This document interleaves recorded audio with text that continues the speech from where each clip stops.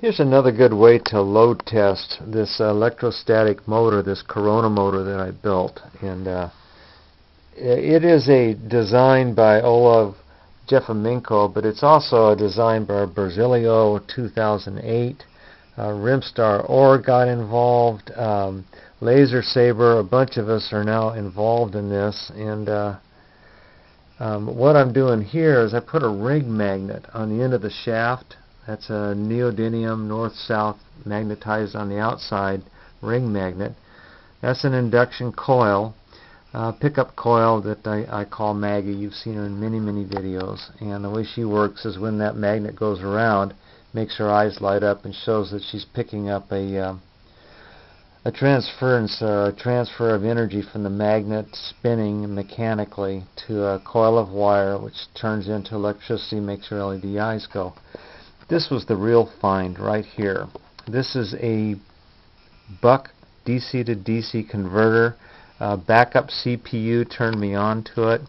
And uh, um, go over to his channel and you can find out uh, the information on that. He has an excellent video on this uh, voltage regulator for a power supply. And you just take a wall outlet transformer and you feed into it or battery and this allows you to adjust not only the voltage but you can see the amperage at the same time and you can preset it. And uh, it, it drops voltage down from 40 to 3 volts.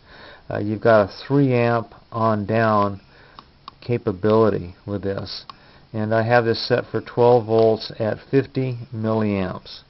Uh, the um, transformer that I'm using is a 500 milliamp 12 volt transformer that'll put out about 14 and a half volts.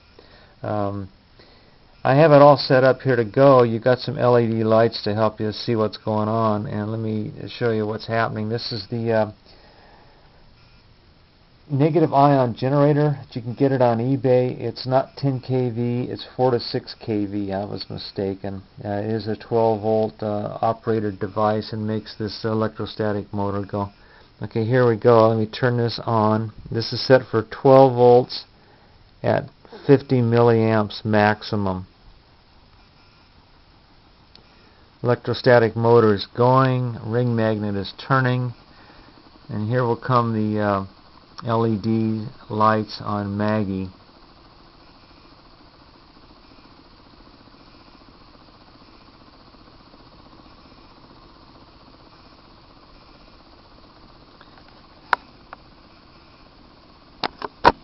Make them come on a little brighter. There we go.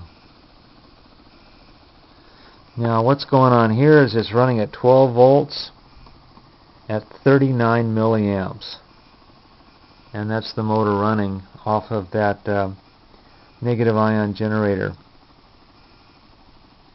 Now I'm going to boost this on up to the maximum here and like I say it's about uh, 14 and a half volts. And that's the maximum it'll put out, that wall outlet transformer. And there's the motor running, ring magnet going, and the load.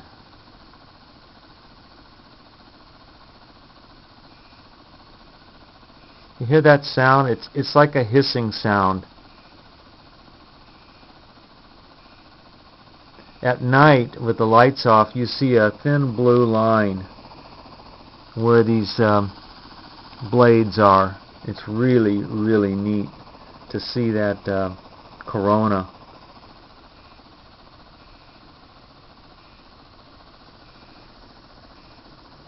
Now if I take her away, if I take the load away, this is going to speed up quite a bit.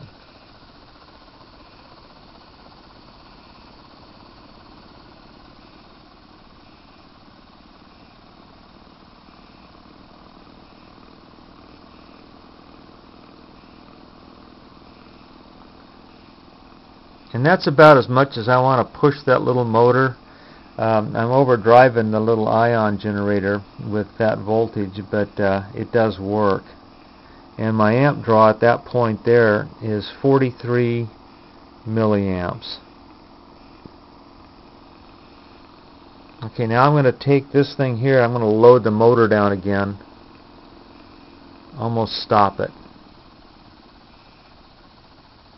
And that's with the uh, coil loading down that magnet.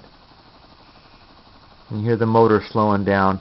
But this will continue to run even at that low RPM with that load. It's just greatly reduced in RPM. But check this out.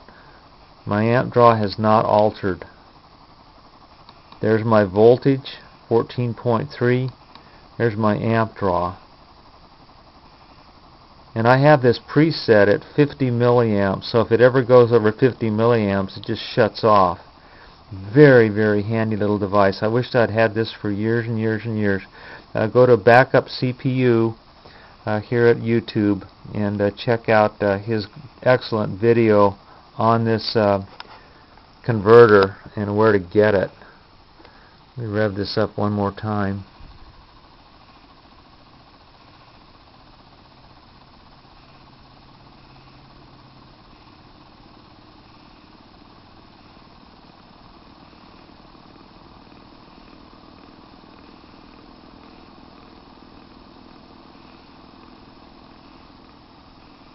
And that's where I am with the uh, Corona Motor project. Thanks for watching.